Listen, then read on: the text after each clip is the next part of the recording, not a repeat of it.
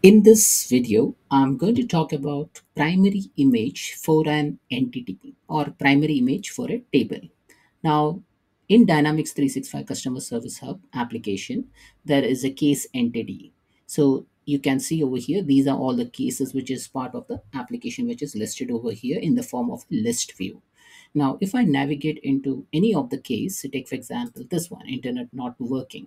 Okay. Now over here, this particular record does not have any image associated. So here, if you see here this part, you don't see any image, right?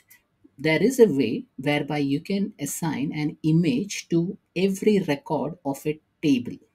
Okay. Now, what do you mean by that? Is I'll give you an example. So take for example, if I go to contacts, okay. So let me go into contacts. Now again, like cases, these are contact entity. And if I navigate to any of the contacts, say this one, now you see here, this is technically an image. So Amy Gonzalez, AG, is an image. So if you don't do not find an image, then it will take the uh, first two characters, uh, okay, uh, of uh, the word okay and and render it as an image now let me navigate to something else so let me go to clay you know then you will see cc okay. Now let me go to other record so let me show you it in this view. So if you see abraham like there is an image. For allison there is an image right?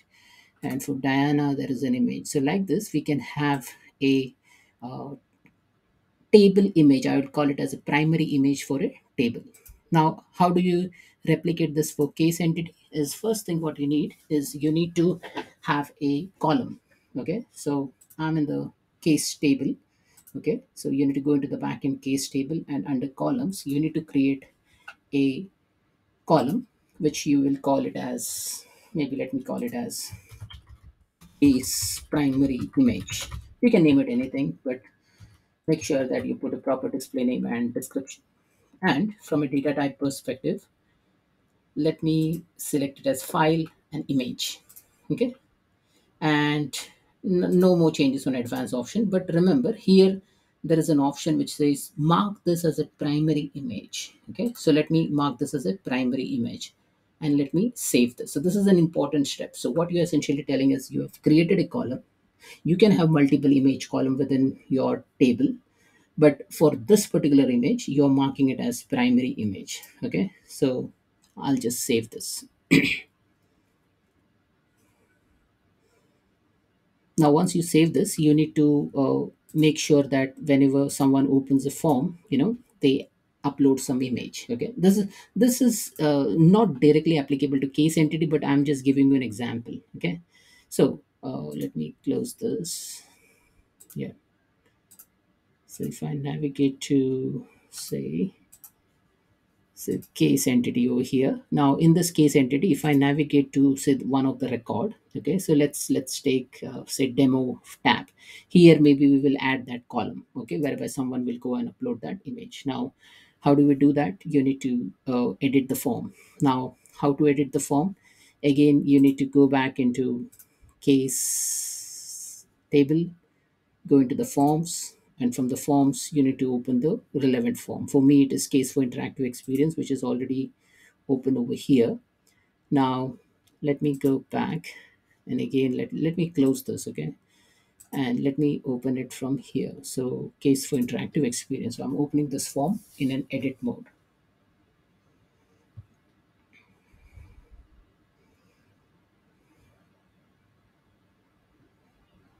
and we need to add that uh, column. Now i can see that column over here called as case primary image. Now we are going to add that column in the form once it is loaded.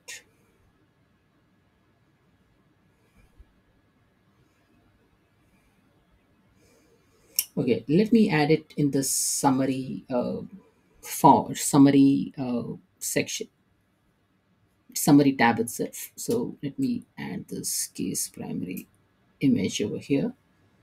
And this is now added. Let me save and publish.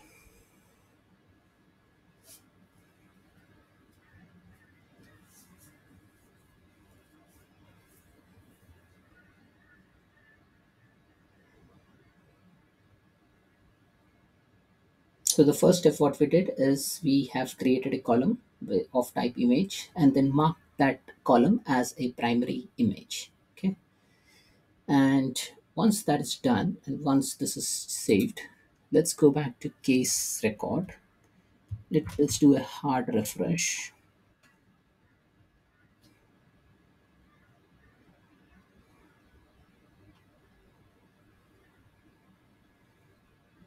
and go to one of the record and under summary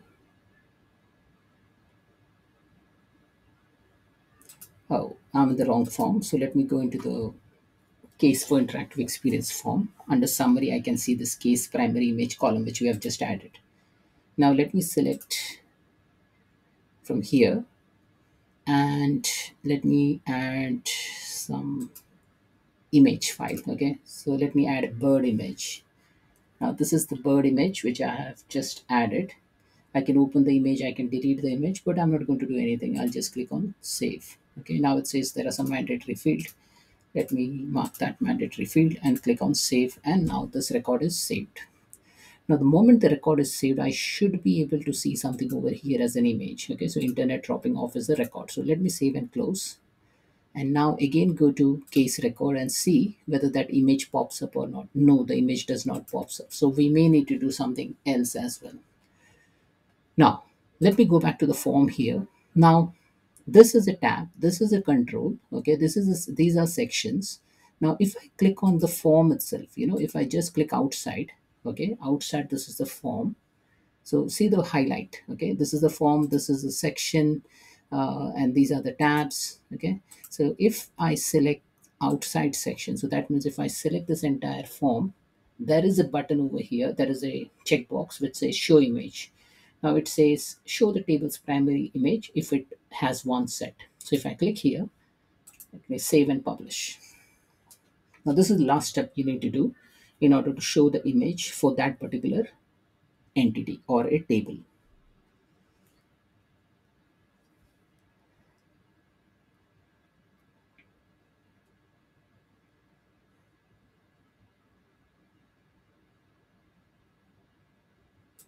Once that is done, let me refresh this page. So watch for he- watch out for the space over here. If the changes are reflected, then you should be able to see some image over here.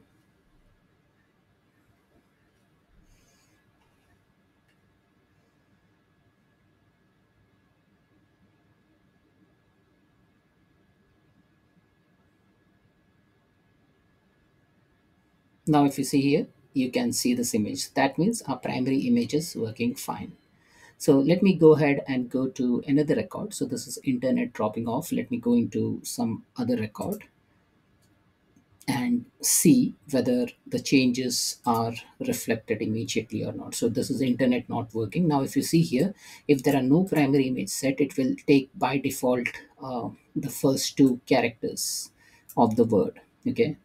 Now if I select choose primary image and if I select say something as associate then if you see here this image is here okay? It is not yet reflected because we haven't saved the record. The moment i click on save this should change. Now this has changed okay? Now again if i go to cases and if i go to say say maybe case 2 and if i click on record set over here then you can see the primary image over here so that's the purpose of basically having primary image within your table entity uh, now, this is quite not applicable for cases, but then if you have accounts or contacts or anywhere whereby you need to um, show the image of a particular record, then it is useful for you. But this is just an example, and that's why I have picked up case entity to show the primary image. So that's it, folks. This is all about having those primary images within your table or entity within Dynamics 365 Customer Service Hub or any model driven application. Thanks for watching.